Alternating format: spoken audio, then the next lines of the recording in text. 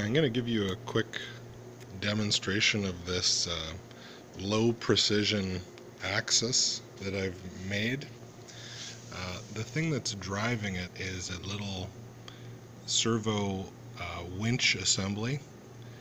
There's a motor in here with some uh, simple transmission that turns this uh, shaft and the shaft uh, is kind of a two-way winch so uh, the uh, there's a there's a push pull going on and it runs over to this pulley way over here. This is some some Kevlar uh, fishing line. So this can move uh, we can pull and uh, we can pull in two directions around that pulley. This servo winch is a is running on a Node MCU board and a little 12 volt uh, H-bridge driver and we only need half of that for this. We're only controlling one motor. And uh, that little uh, TO220 package you see back there is a 7805 because this board is pretty good but you do need uh, you do need to provide logic power supply.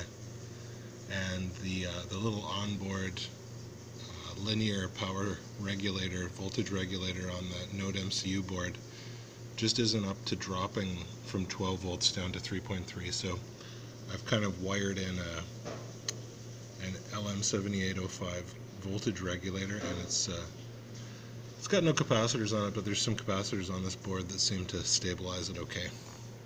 And then that's just uh, so 12 volts go in there and then the uh, the Node MCU board is talking to my laptop which I'm going to show you. Um, the uh, to, to find home position, there's a little reed relay, uh, a, a, little reed switch right in here, and there's a couple of magnets mounted on this little sled.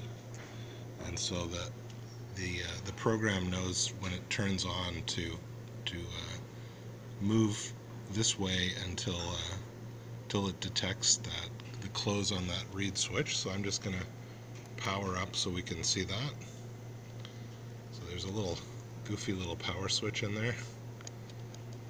Okay. So it moves to uh,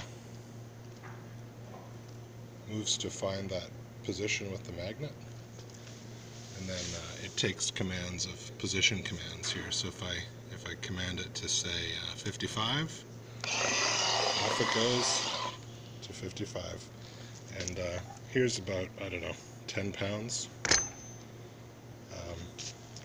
So there's there's something that rides on that sled, but this is kind of a test load.